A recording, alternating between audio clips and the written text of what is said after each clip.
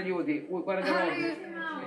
Ok, mislim, baš je, meni je glupo jako da pričam o našim pozama, jer Pa ovdje je jeste, baš... jeste, ali je vidjelo se, Saro, svi su vidjeli, pa, baš dobro, ja bih volala da vidim taj snimak gdje se to vidjelo, jer...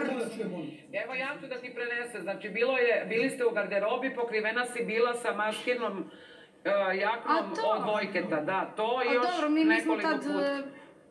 Mi nismo tada imali ovaj seksualne Pa odnose. ne samo znam, ali pitaju kad ćeš da promeniš pozu, eto, odgovori ako hoćeš, ako nećeš ništa. Sutra. Za njihovu Sutra. ljubav, sutra.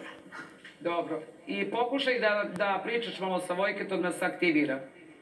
Pošto samo čuti. Maco, pitanje za tebe.